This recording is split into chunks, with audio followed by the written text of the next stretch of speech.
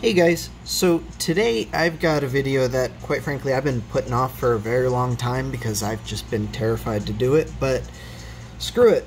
The time is now, let's go ahead and get it done. Um, so what I've got before me is a Game Boy Micro. What we're going to do today is overclock it. I ordered uh, one of these bad boys and it did come with something. I, I ordered two things at the same time and they just shipped it in the same bag. Uh, I've already done a video on the other one, uh, so that's why there's nothing else in here. But we've got one of these fabulous things from insideGadgets. This is the ClockxControl. Um, we're going to cram it in here. It comes with quite a bit of wire, but I don't think we're going to be using any of this wire on account of needing all the space we can get. But just just to show, this is a perfectly working Game Boy Micro, and uh, let's see if we can't fix that.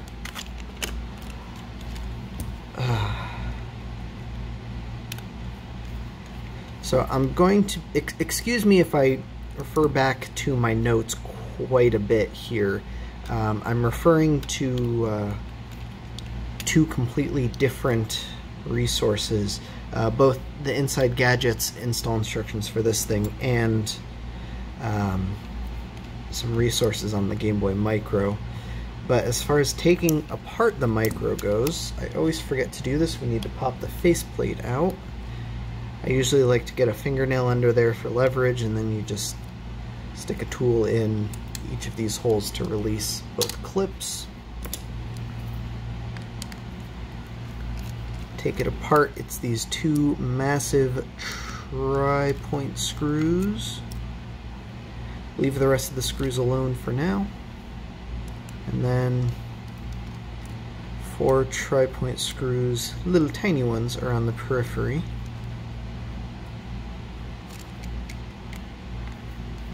Two on the top, two on the side.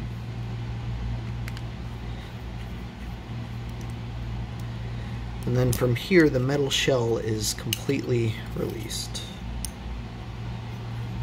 Set this stuff aside, we won't be using it for a while. Take out the start, select, and power buttons. And we're going to pop this, or before I pop the screen out, so the instructions say we can actually place the uh, module here and it'll fit under the screen and that does actually seem to be the case. It does teeter-totter a little bit but there is enough enough clearance uh, once the metal shell is on. If we take it out you can see the screen does sit completely flat. I was playing with the idea of putting it right here. I think it might fit a little bit better. But then the screen sticks up in one corner. I don't know if that's any better. I'll have to play around with it a little bit more. Unfortunately, there's just no good place to put it. Um, if we didn't have a speaker right there would be fantastic.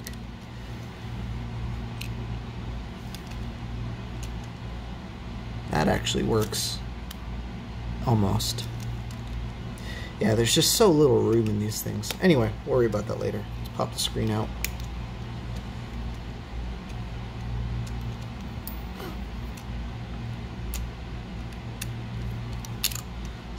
Aside. And to continue taking it apart, we need to remove three long JIS crosshead screws. all in the plastic bracket here.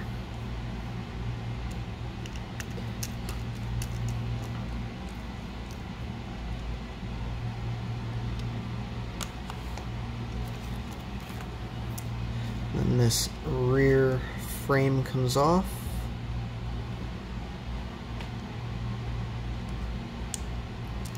It's clipped onto that shoulder button. It might take a little bit of maneuvering The shoulder buttons out of there. And then four more short crosshead JIS screws.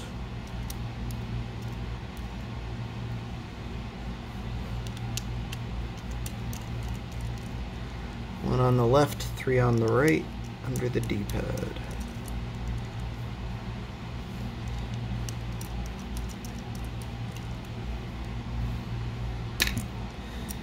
Alright, and then flip it over.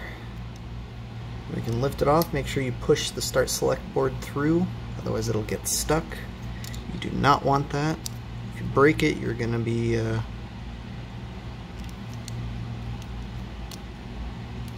to regret it. It's fixable, but it's a lot of work for something you don't want to have to do. Sorry, I'm just replacing the membrane while I'm here. I don't like how that one feels. And I have an extra one, so why not? Alright. So normally this speaker would come off and it would stick to the frame itself, but if you guys harken back to a video I did a long time ago, where I got this micro, this is the one that I got in a baggie of parts. And the speaker was one of the few things I didn't have. So as far as overclocking this goes, we simply need to replace this crystal. Now, we want to do a variable overclock so that we can play some games normal speed or most games normal speed most of the time, uh, which means we need to replace this entirely. We can't just add on to it. Unfortunately, this is a surface mount part, so I'm going to need to use hot air, and this is, quite frankly, what terrified me. I was afraid since it's so close to the CPU, if I mess up the ball grid array on this thing, I I just, I simply won't be able to fix it. It's not within my current skill set. Um, maybe one day, but not today. So to take precautions here, I'm going to use plenty of this aluminum tape I have to try and shield components.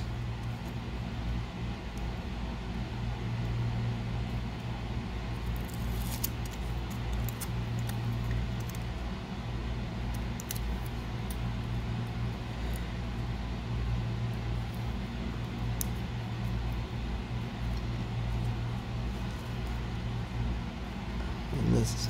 I have used this method before successfully with um, hot air gun when desoldering stuff, so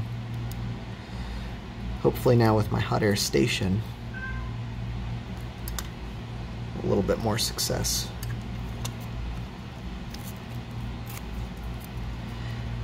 One of the guides that I'm going to link in the description um, they used pliers to remove this. Oh, I can't even begin to explain how, how to express how terrible of an idea that is. Um, this, I guess, isn't that much better, but at least we're not risking permanently ruining the PCB because these things are kind of expensive um, if you weren't completely aware.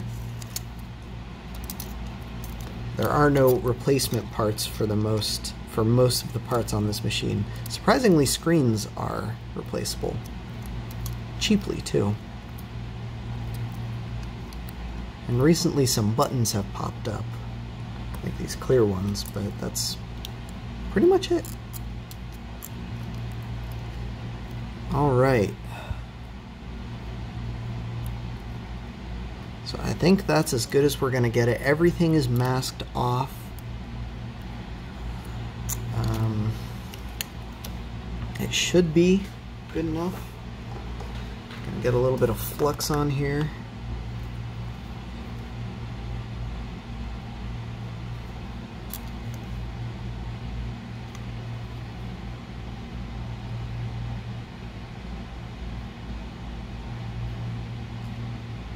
Syringe would be better, but work with what you have.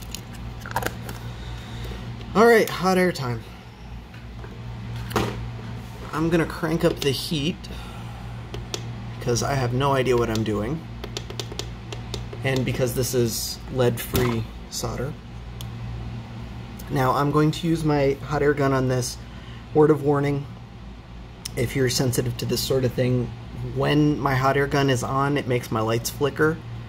So, like I said, if you're sensitive to that sort of thing, now would be a good time to look away. Um, but otherwise, here goes nothing, I guess.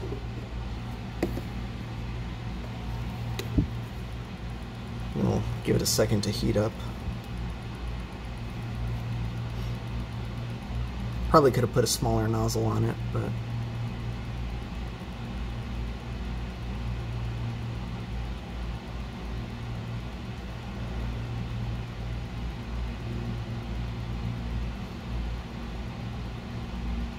This is the part that I've been absolutely terrified of.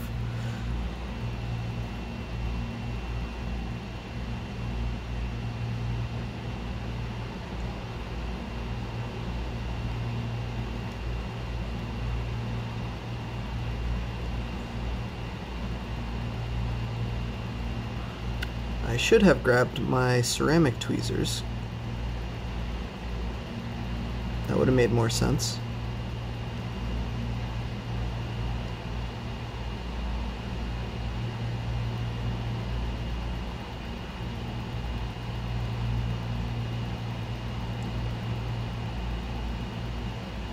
Feel like all my flux just fucked off.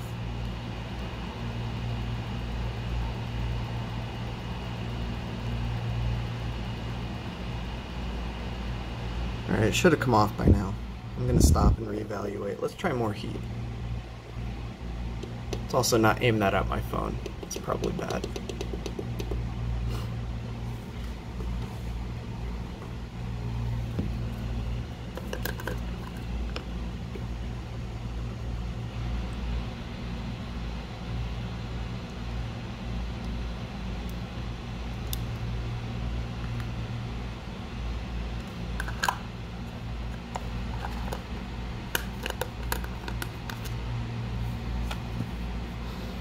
Alright, here we go.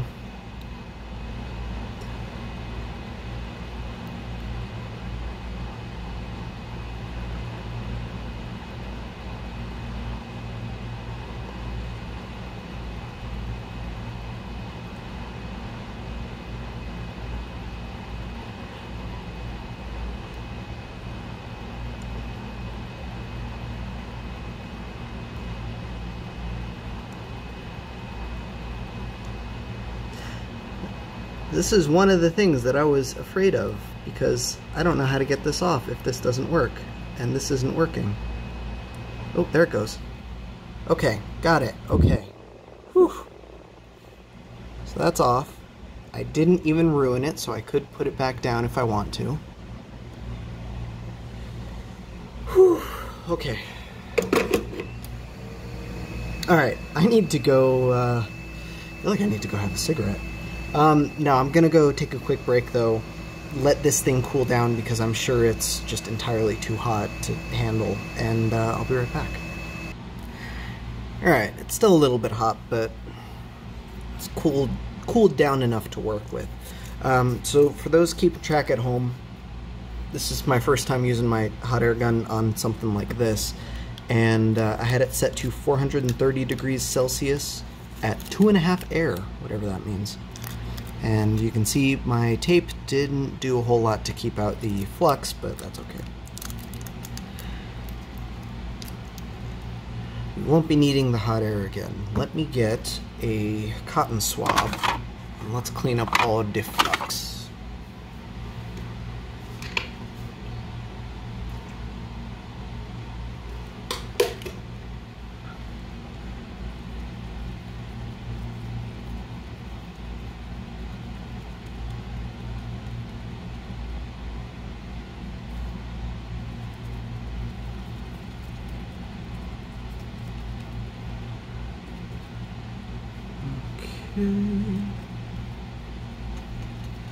Good enough.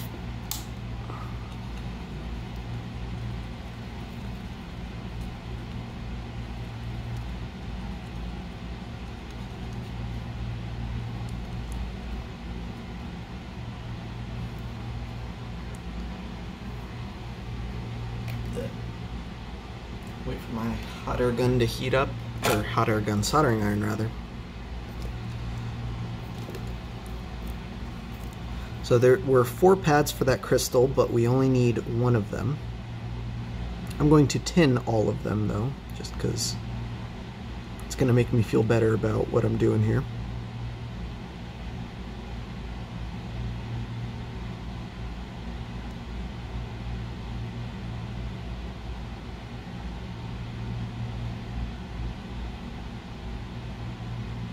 But also because I'm working with um, leaded solder and the unleaded stuff that's on this board doesn't necessarily mix very well.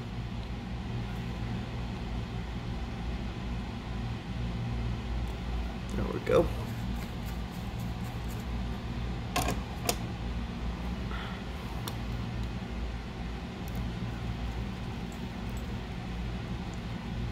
I didn't even disturb that little itty bitty capacitor. Nice.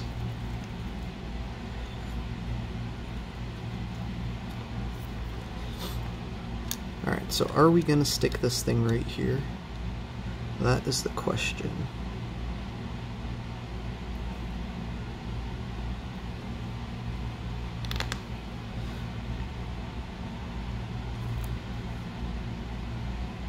Oh. What we're definitely going to do is fix the solder joint on this capacitor because there's a bit of a dangly bit.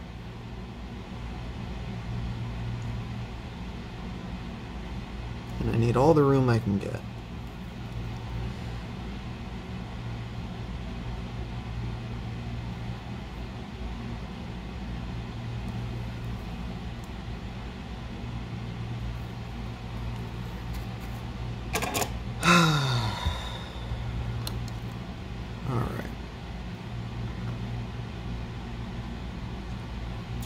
Where can we put this thing?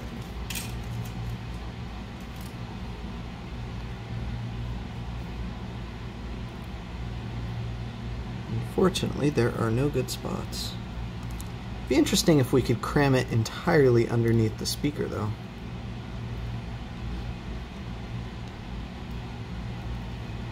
Nope. I guess it's going on top of the CPU.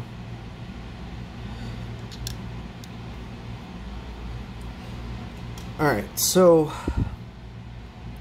Alex has so thoughtfully provided some Kapton tape already on this to insulate it.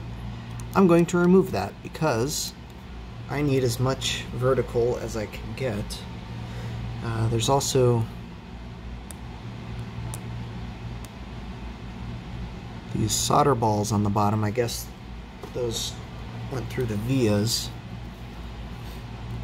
I'm going to snip them off.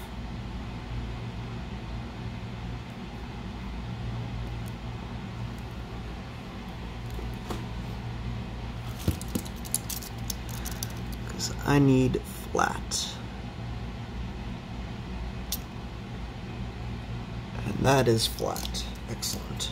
So now I need a little bit of double-sided tape. Is this double-sided tape or is this just adhesive backing? That's just backing. So you know all the the the screen adhesives like these things for the IPS kits? Pop out the middle and save the middle for um, shit like this. I'm looking for some of the 3M stuff I have. Here we go. This actually looks like something off the roll I have, but this will be fine. A little bit much, but that's okay.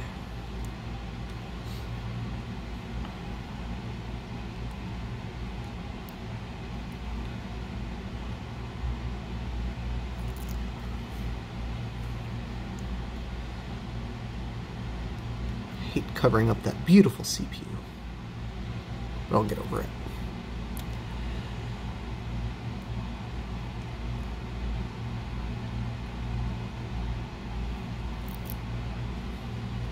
One last look.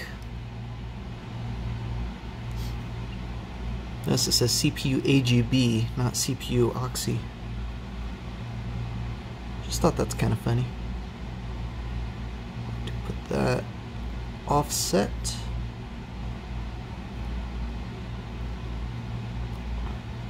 So that we can make it nice and flat and still solder to these. So there are quite a few wires that need to be soldered up. I'm going to try and use my epoxy wire and bear with me, I'm just checking. That needs to go clock needs to go there. Okay. So this wire needs to be that long. I'm actually going to use Kapton for this because or I'll just use the wire that Alex included.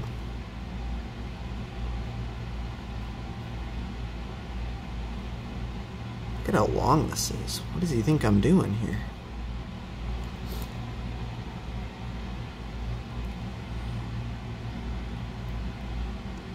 Alright. I think this is 30 gauge. Yep.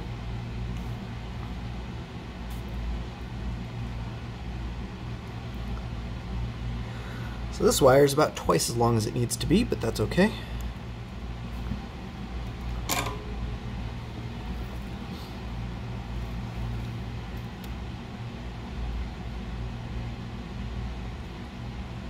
Tin that again.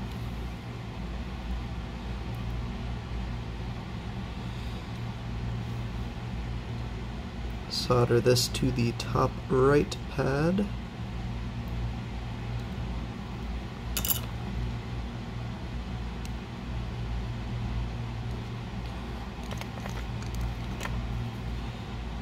Introduce a little bit of flux.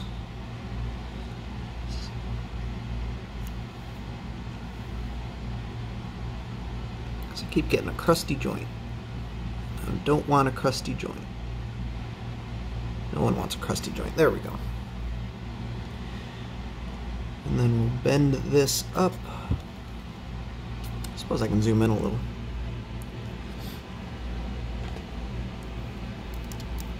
Actually, I have so much more room to work with now that I've dismantled this light.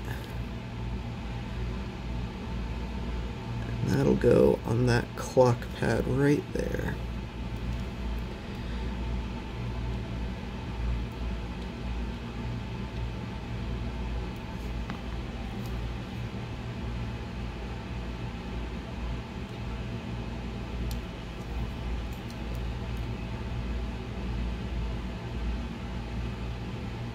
There we go.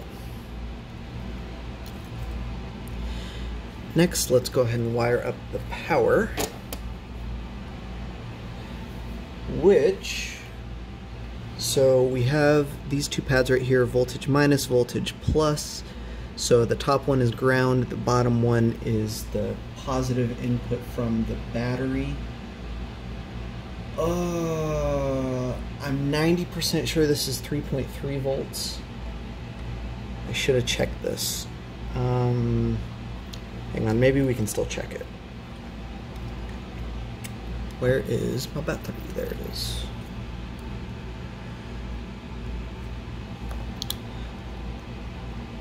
Hopefully this thing will still boot up all the power management circuitry without the clock installed.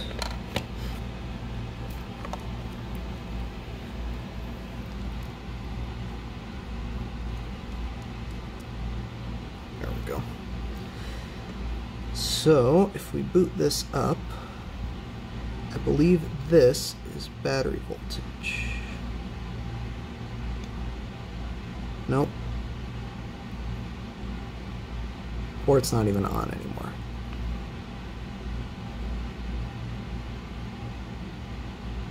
Hmm. What pin is it? Let me find out.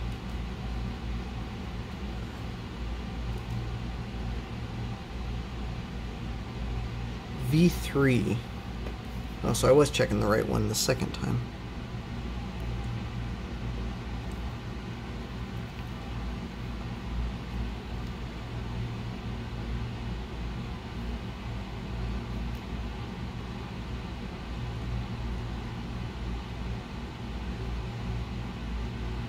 Yeah, I don't think it's actually booting up.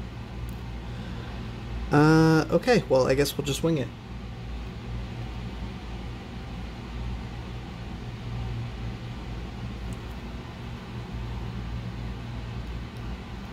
Just double check one more time. Oh, there we go. Yeah. I was just checking the wrong pads. So that is right. Okay.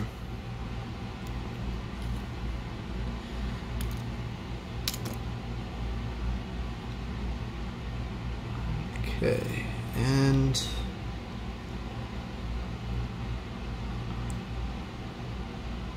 there's actually plenty of room, so I'm going to use these wires. Plenty of room for the wire, at least.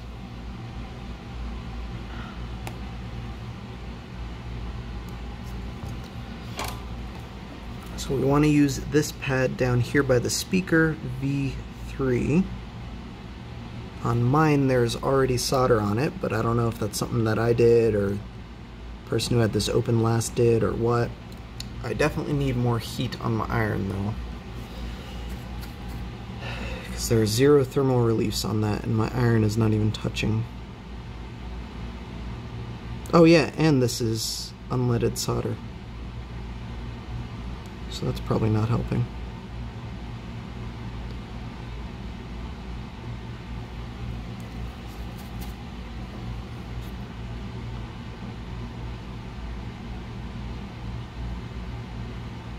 There we go.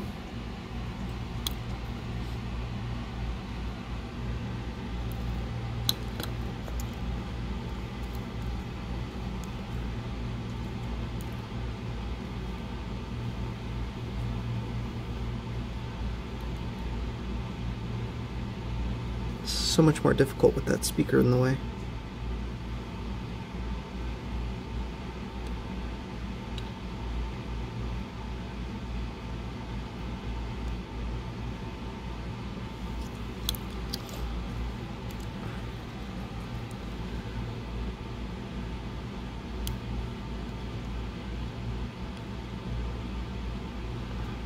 I just want a pretty joint that I can be proud of. Is that too much to ask?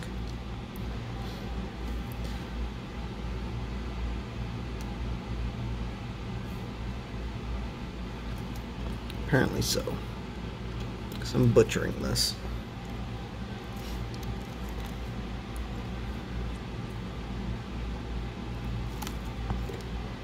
Oops. Try not to stick your iron in uh, plastic bag you have off to the side. It's, uh, it's kind of stinky.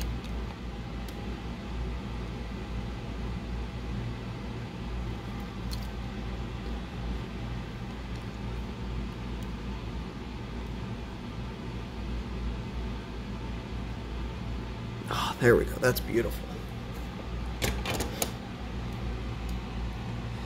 Ugh, now it smells like burnt plastic. Oh well. Alright, then we can route that up, up, and over here.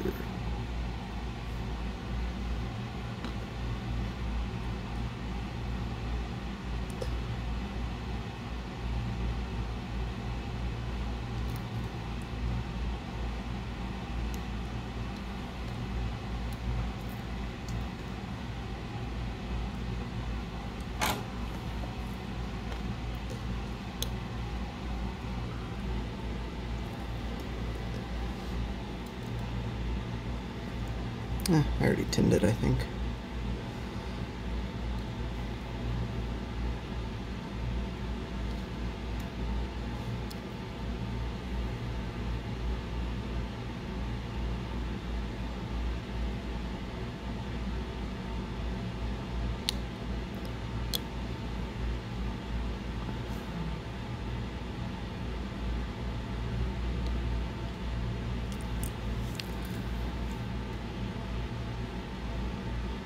Ooh. What is going on with me today? I cannot do a simple solder joint to save my life. This is the wrong mod to be doing today.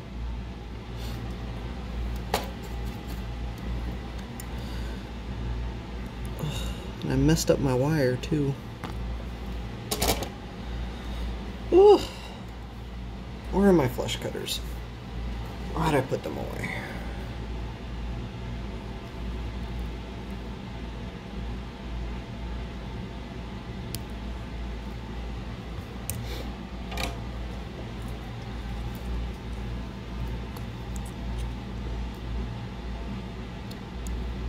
Doesn't matter nearly this much, but I just just want to do all right by you.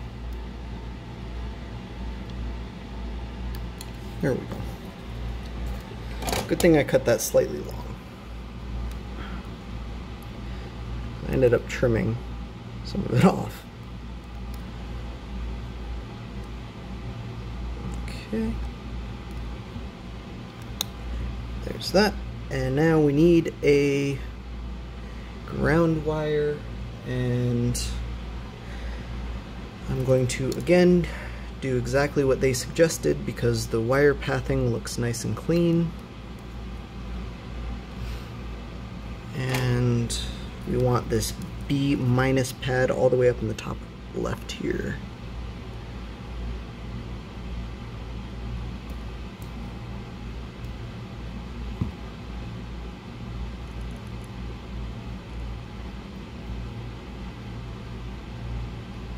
So not the right tip for tinning these pads.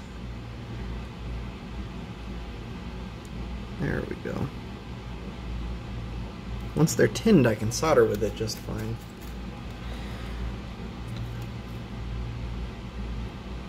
But getting them tinned is the difficult part. Ah, I dropped the wire.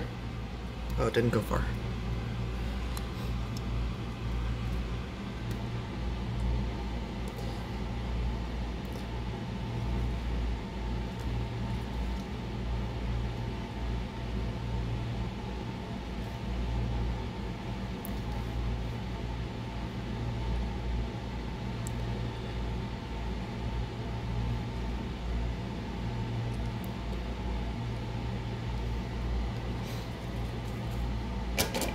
Okay.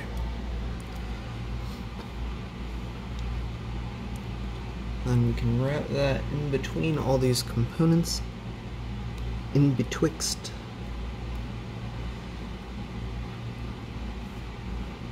And we want that that long.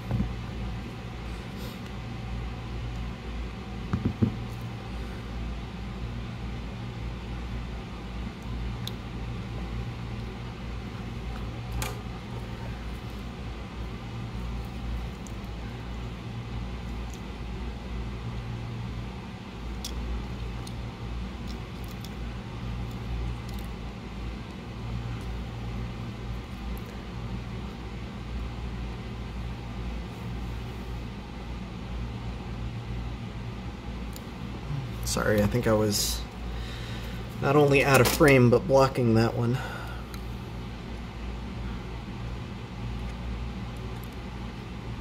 Of course, it's the best one yet. Eh, I don't like that. We're to route it straight across that missing component. Even though it's not missing, we just replaced it. Oh, I almost forgot. I was about to start putting this back together. Um, we need button controls. So Alex has his set to use the shoulder buttons and it looks like either start or select will do the exact same thing. Uh, buttons, buttons, buttons. Where in the Sam hell does that go? Okay. So on Alex's board here, this left middle pad of these six groups, this is select, and then these two pads that are already tinned, I thought this was accidental, but it looks like he did this on purpose, and that was actually quite genius, and thank you, Alex. The three of these six that are already have solder in them are the pads that you need to solder to for button controls. So, like I said, this left one is the uh, like control or enable button. So while you're pressing this one, which will wire to either start or select or something, you can use up or down, these two on the right, to control it. Um, and so up will wire over to this button, down will wire over to the shoulder button up here, and then this one will wire to start or select or, whatever it is. And let's see what we've got. So it says just need to wire to that itty bitty little via down there. Ugh, I don't like that at all. Hang on, I'm gonna research a better place to solder to because I'm 100% sure one, uh, well, hang on. I've got a multimeter. I can check it real easily. Hadoi. So it says to solder to this itty little, itty bitty little via right there.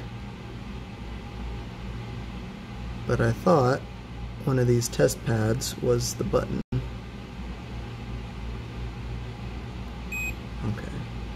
Just double checking my meter.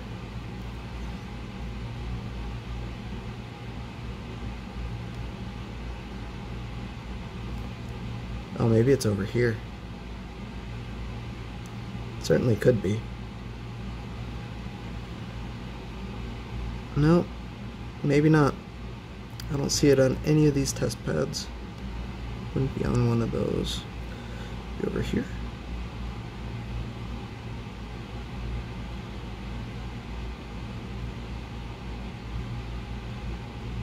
Man, I'd have thought for sure they'd have these pinned out. Alright, guess not. I'll be right back. I'm gonna do more research. Just double check that that's the best place to solder to. No, it looks like that's it, unless I want to solder to this PCB here, which I want to do even less. Okay. Alright, so let's uh, start scraping. So this little itty bitty one, which one is it? CNS. This one. This bottom one right here, right under CNS, that I have my knife right on. That's select. And this one up right above it is start. Under in between the C and the N. Uh, but right to the left of the C is select. So I think that's the one we're going to use.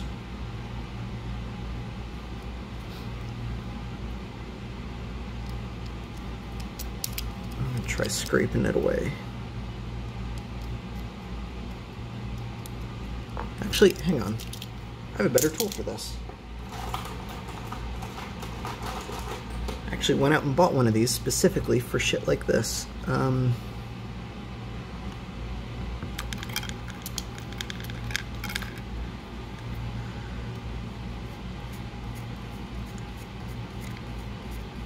a fiberglass scratch pen.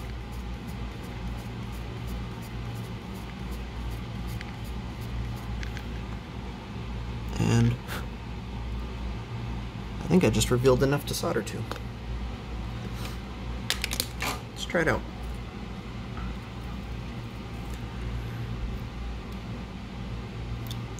Tune that up, flux that up.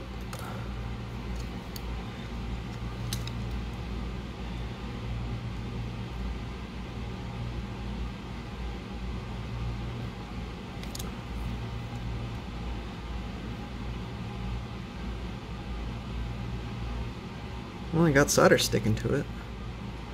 It's not exactly... Oh, there we go.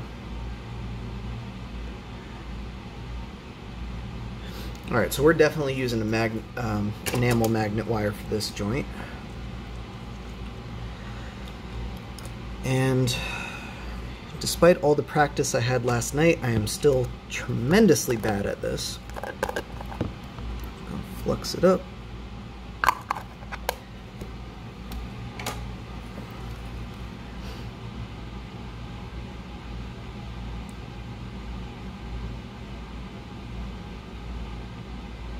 For reference, last night I was working on that FunnyPlaying IPS kit, soldering that back together. I don't know which video is going to end up getting uploaded first, but if you don't know what I'm talking about now, you will soon.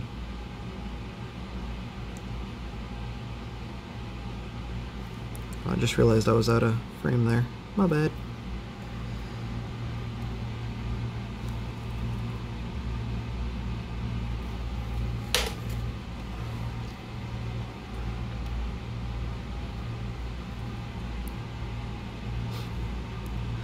Had some luck trying to scrape.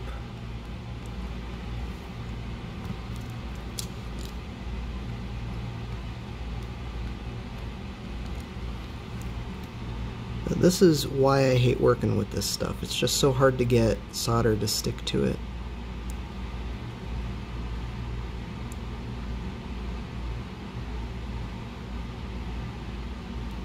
Or I guess it's not difficult, it's just time consuming.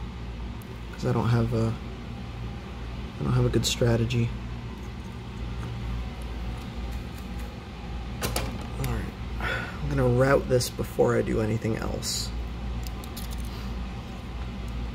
So this goes up there. Bend it up and out of the way. We'll go up and around. And then come down and across so that it needs to be approximately that long.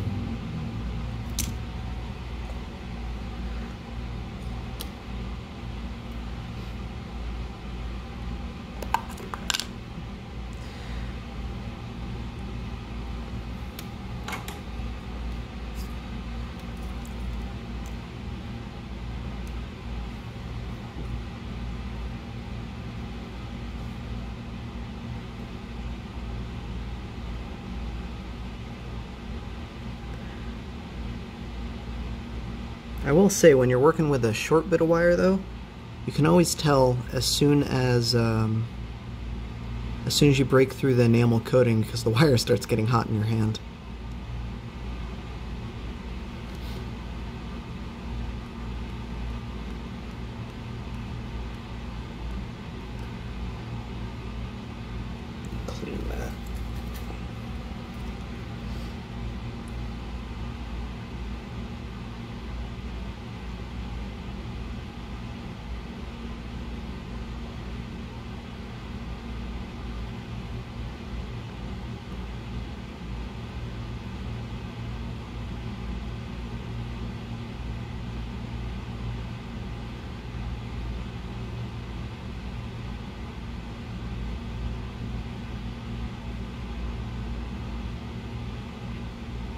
Scrape the slag off. Sorry.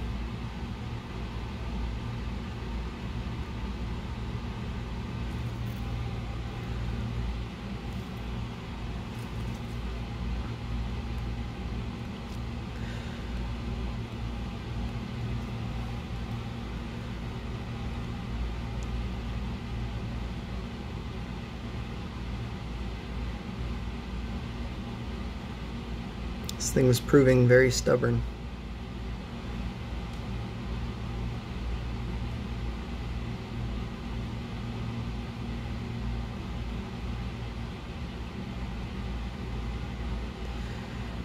It is also just now occurring to me that I might just have tremendously shitty enamel wire.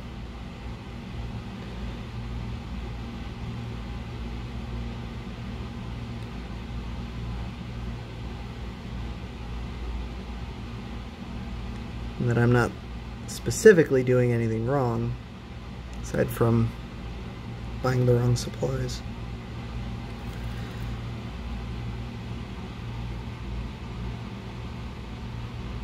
The coating has changed color, but it's still not taking solder.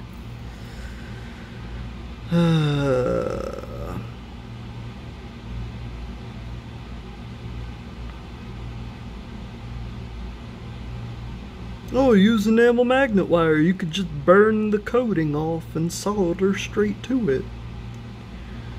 Okay, bud. Sure you can.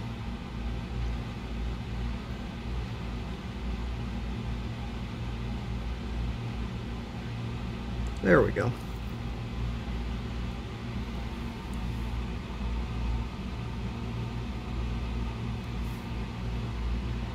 Just the very tip is exposed, but that's good enough.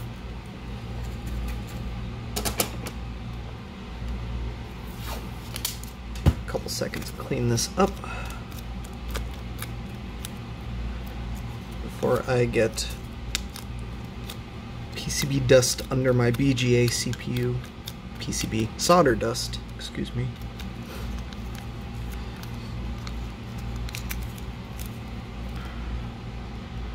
Okay.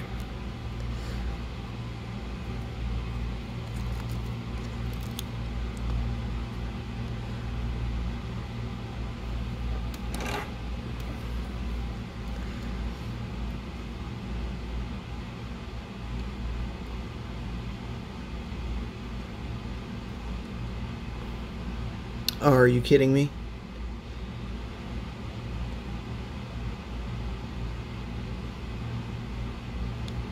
Nice. I didn't get this side like I thought I did.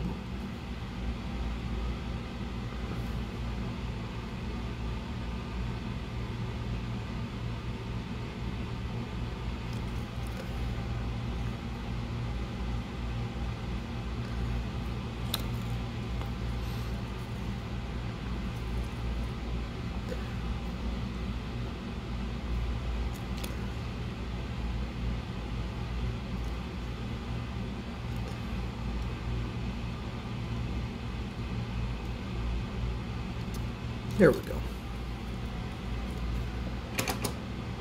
Let's route this over. I'm thinking actually I can run it under.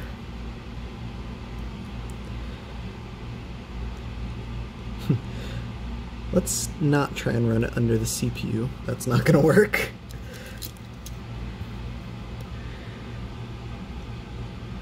I'm gonna run it under my wiring though.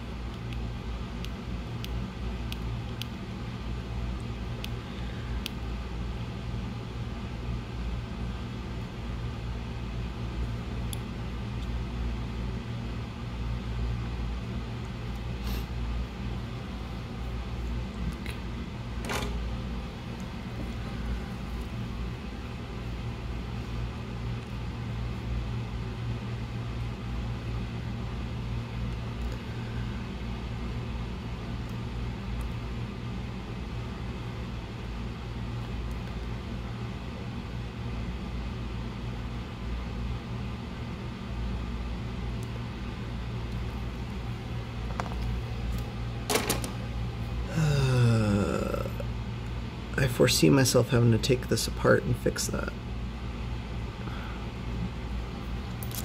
But it's okay.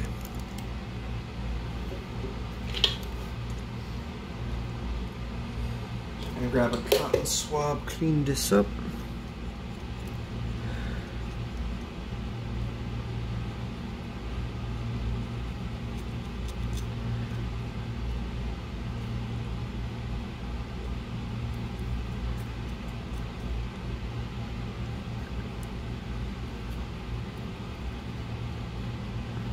Because despite what anyone says, even though it's called no clean, you are supposed to clean it. Or you should clean it at least. Alright. And it just absolutely drives me insane routing enamel wire across contacts for other but or for like um, capacitors and shit. So I'm gonna route it up and around whatever this is to give it the least amount of things that it's crossing.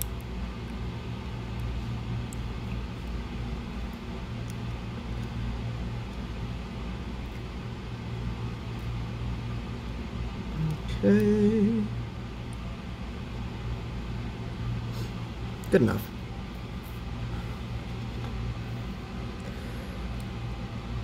So let's actually test my soldering before going any further.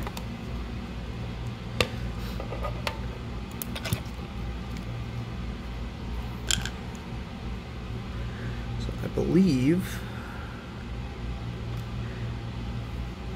I'm not sure if this is the same ground.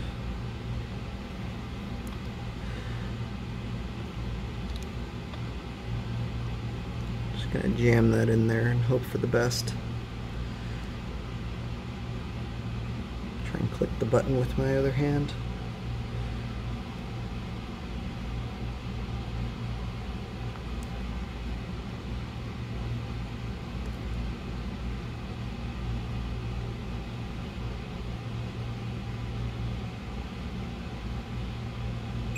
Ah, there we go.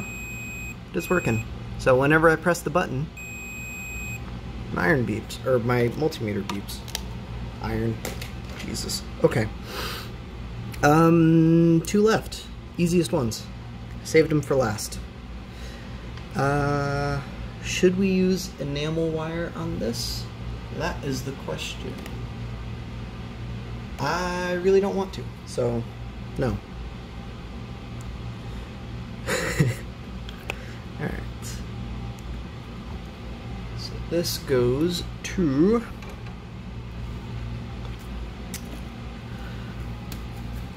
clean that up. This right here, LN, I believe. Yeah, it looks right.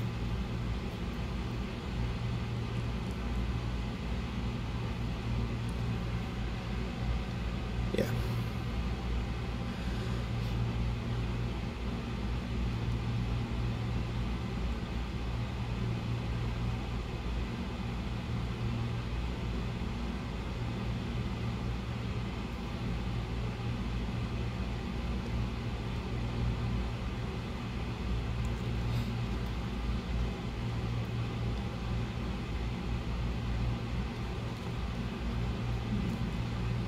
Old solder ball on there.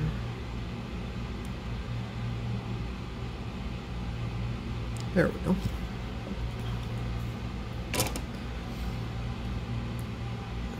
This we can route top over down right here.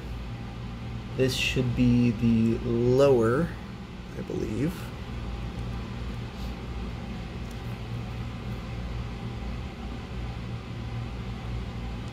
Sorry, I'm out of frame.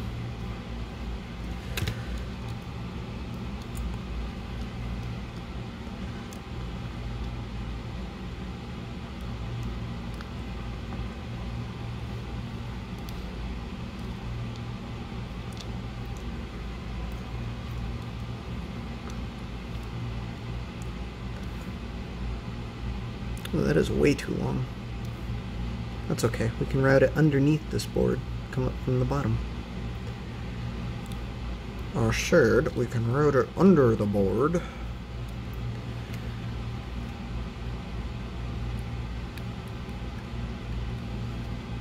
No?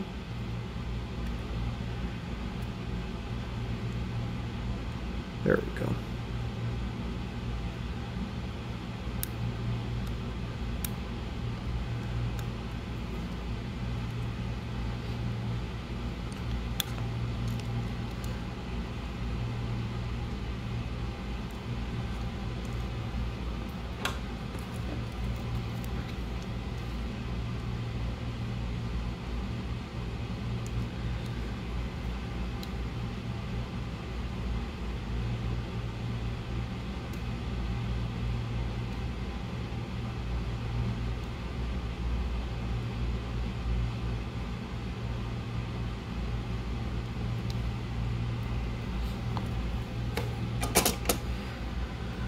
Whew.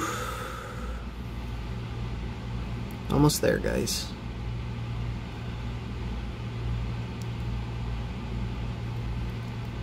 Just tucking the wire in. Hate routing wires crisscrossing a top on top like that.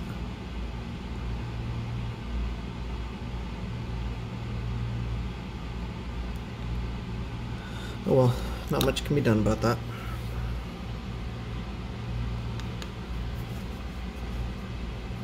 Uh, see. One last button, looks like, or wire rather. Looks like we need to wire it to the middle of that pin. There's gotta be a better pin, are you kidding me? Good lord, I guess not. There goes nothing.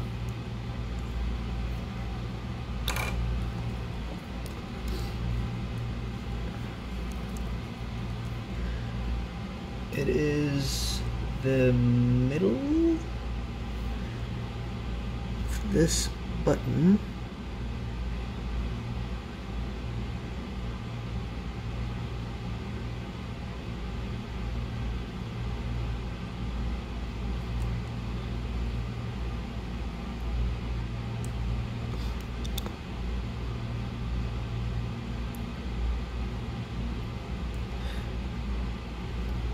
not fuck huge capacitor that I just accidentally started desoldering.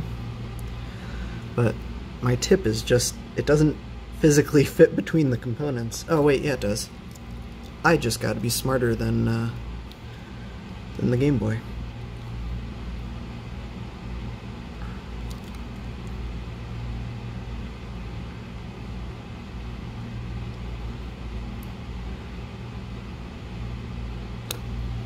I hope that's it.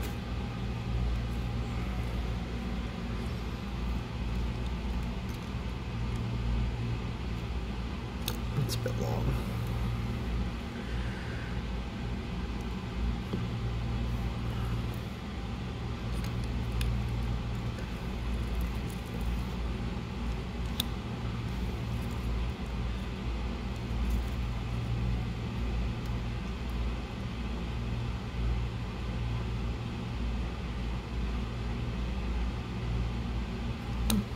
Feels on there pretty good.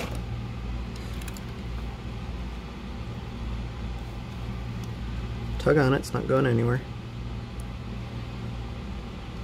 Uh, the routing looks like this is better.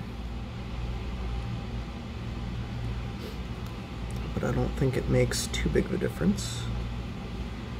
And we need to bring that to right there.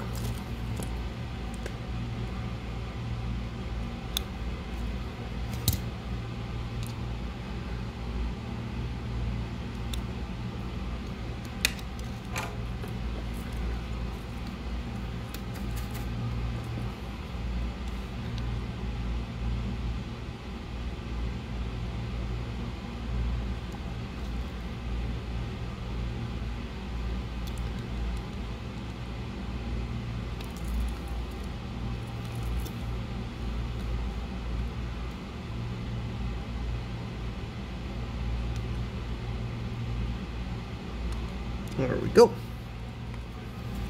All done.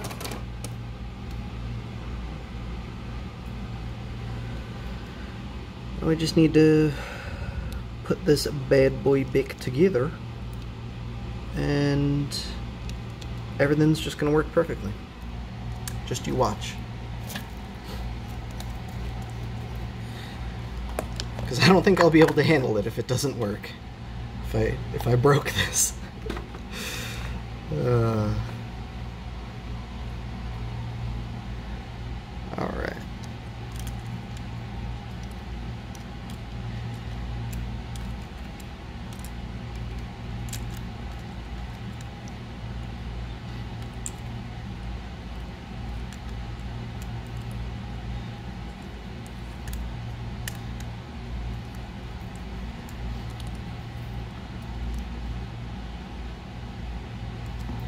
getting apart.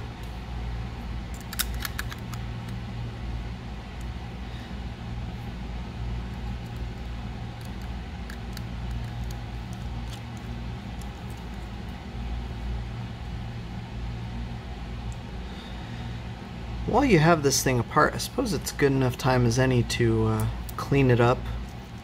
And I don't just mean like the, the shell. Um, clean out the power switch.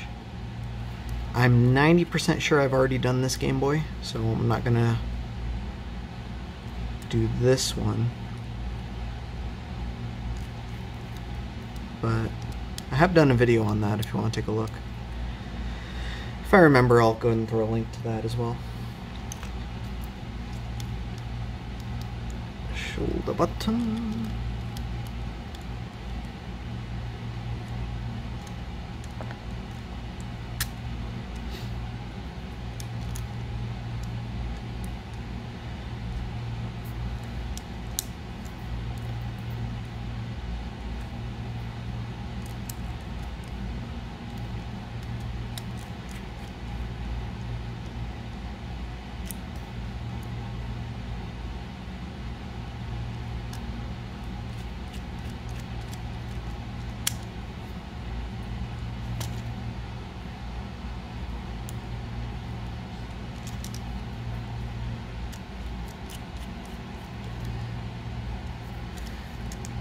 All right. Going surprisingly smoothly so far. I think that ended up under a button membrane though, so I'm to tug it out. Okay. Everything else looks good.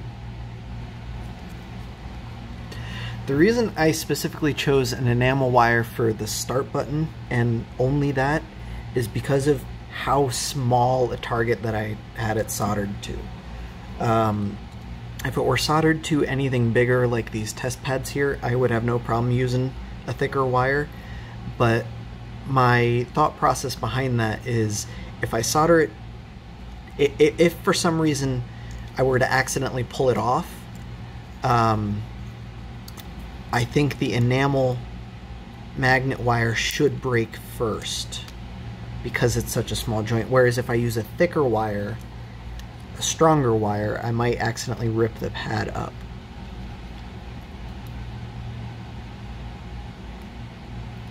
Now I haven't ripped up any pads in a very long time, so we're probably safe, but just in case.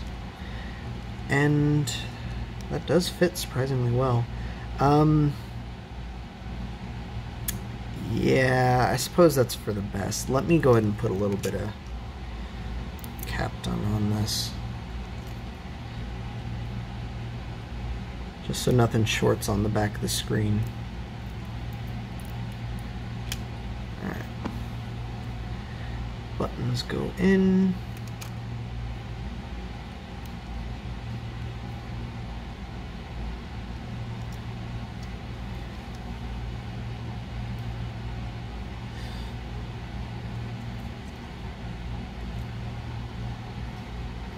God, I was just about to panic about a missing part. Because I saw the, um, the crystal that I removed. The oscillator. This thing. I just started panicking like, oh my god, did a part fall off while I was putting it back together? No, part did not fall off while I was putting it back together. It just doesn't matter, I still panicked anyway. Anyway.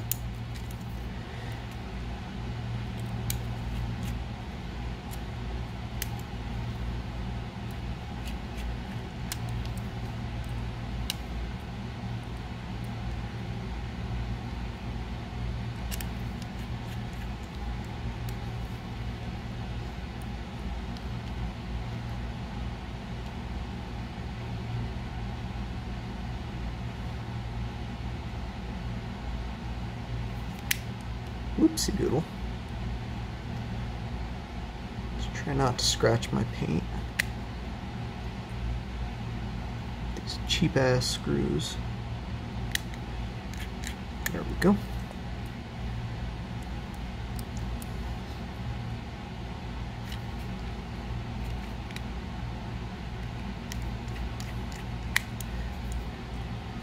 Doesn't fit as well as it should. Unfortunately, that's due to the uh, overclock board.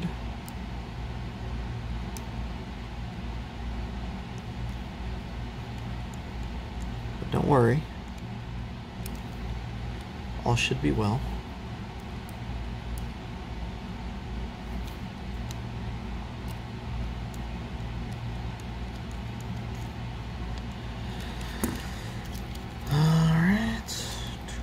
battery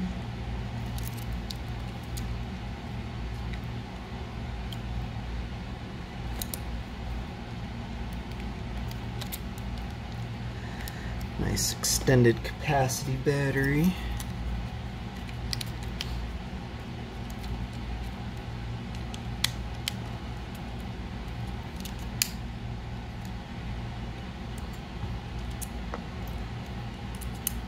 And normally this would be a crosshead JIS screw, but I lost the captive screw because I never actually put in the C-clip. But I found this Torx screw that fits perfectly, and so that's what I use. Last but not least, the faceplate, but I'm to leave that off because you never test it when it's fully assembled, otherwise it's never it doesn't work, you know? Oh. Alright, so there's a spot right in the middle. That's definitely to have to change. I'm thinking if we remove a little bit of the um, material around the screen, like there's this uh, gasket material that doesn't seem to be doing anything. Probably remove that.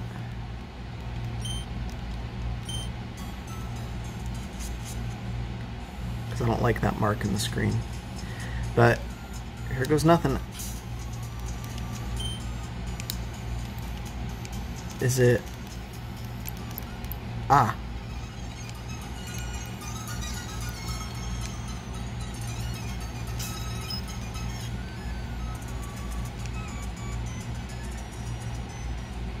So if you've ever wanted to play Pokemon, didn't want to grind everything out, I think that's as high as it goes.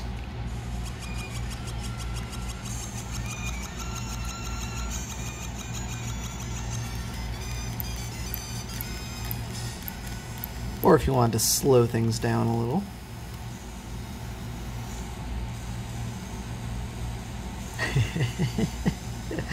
oh, this is great. I can get used to that.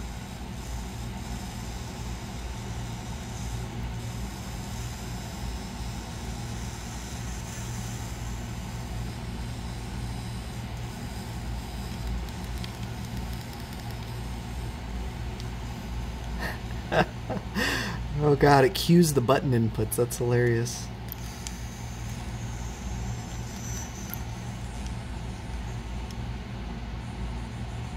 If we restart the Game Boy, let's set it back to the slow. It should reset back to default, and it does.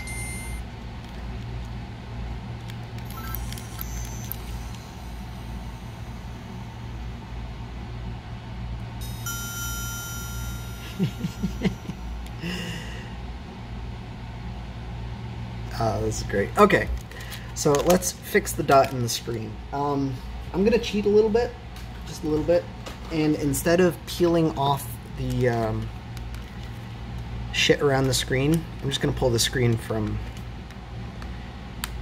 this Game Boy. Um, so remember when I had that bag and I said it came with two things? Here's that other thing. I haven't uploaded the video at this specific moment in time, but by the time you see this video, this video should be up. I hope.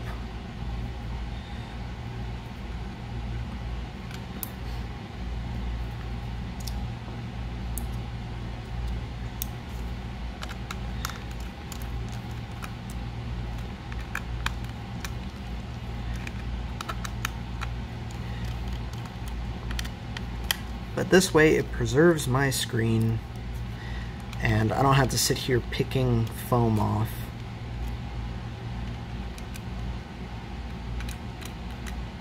Alright, good enough. Plus, I never got this thing to fit right anyhow.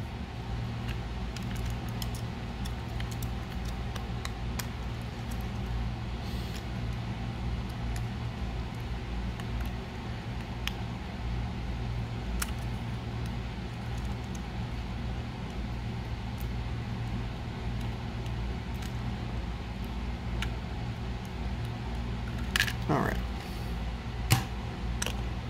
Easy peasy.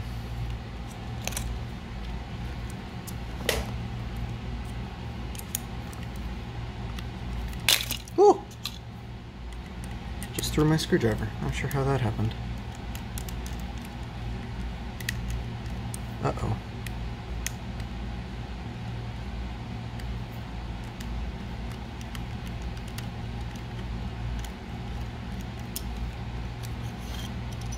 That's probably not good.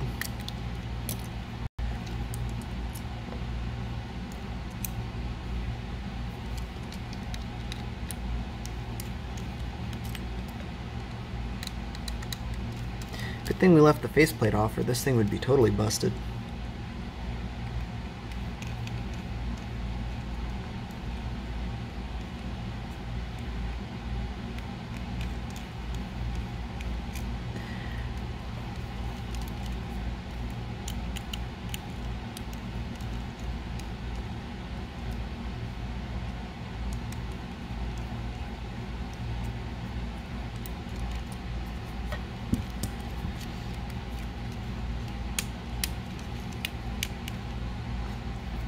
Alright. So I'm thinking, or at least hoping, that this extra foam around the sides and the back of the LCD are what is prevent preventing it from sitting nice and flush. And instead of sitting here and picking the foam off, I'm just going to use another LCD that already has the foam removed. Or I guess technically never had the foam in the first place.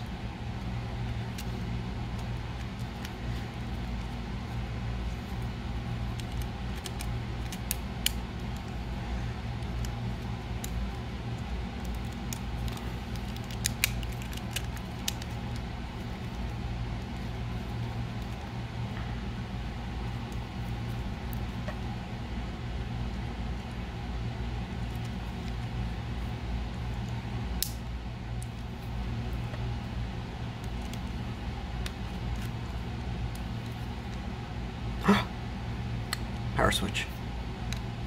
Fell out.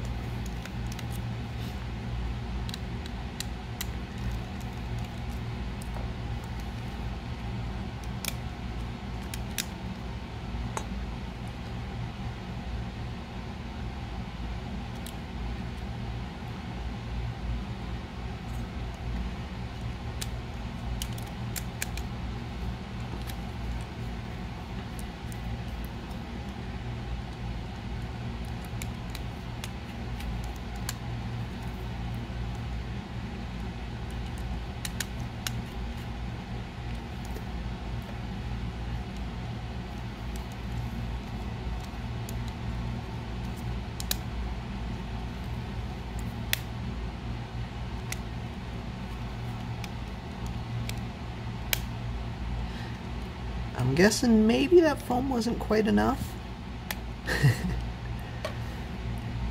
but if there's no mark in the screen, I'll call it good. Another option would be to just start pulling layers off the screen, I guess.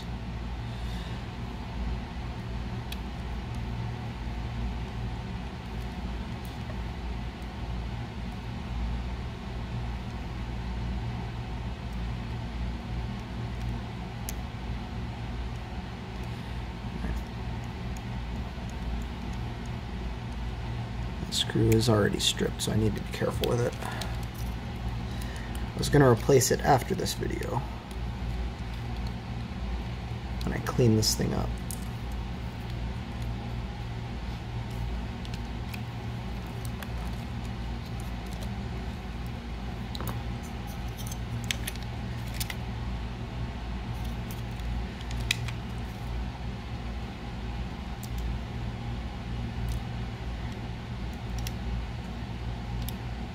Yeah, not sure what happened, but that fits very loosely now.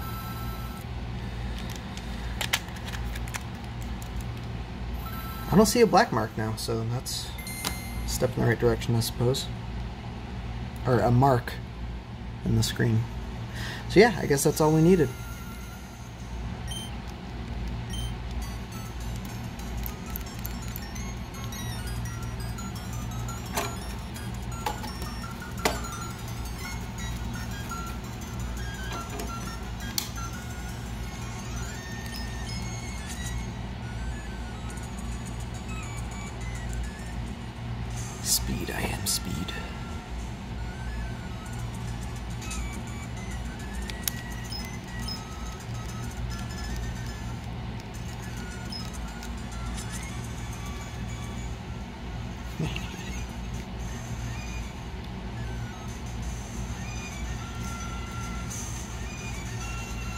So, word of note with overclock mods, this doesn't work with flash carts. If you try and run a flash cart in here, it's just going to crash. I mean, if you try and overclock with the flash cart, it'll it'll run fine at the normal clock speed. Um, but unfortunately, that is just the nature of the beast.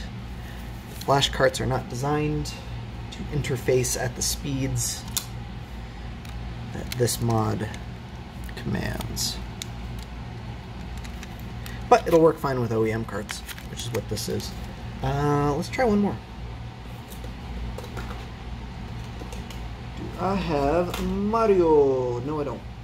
I don't have Mario. I thought I had Super Mario World handy, but I don't. So we're not testing with that. Never mind. Um, screw it though. For shits and giggles, let's see what happens with a flash flashcard.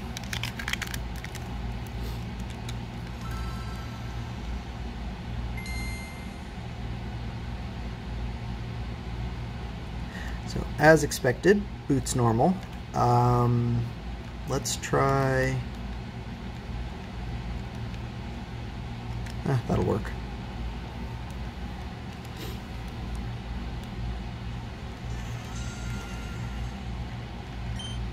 Oh, shh. It's a new game. Never mind. We'll try a different ROM. Uh, I think I have Blazing Emerald on here. Yeah.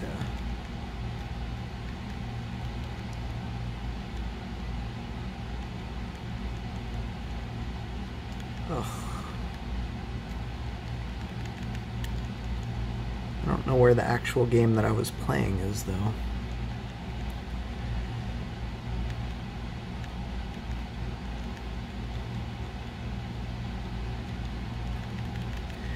fine.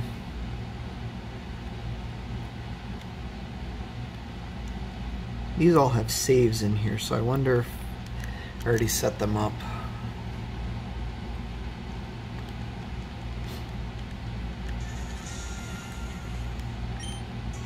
Yes, I did. Excellent.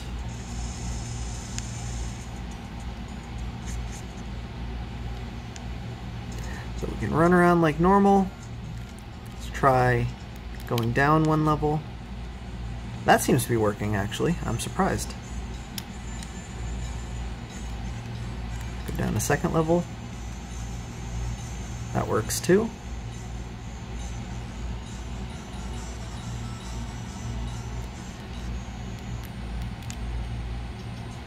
Still slow. Alright, that looks normal speed to me. Let's try up one level. Yeah. And once you go, once you start going up, it's it's when it crashes. You can go slow, but you can't go fast. Gotta go slow, I guess. I guess. Excuse me. But there you go. Want to overclock your Game Boy Micro?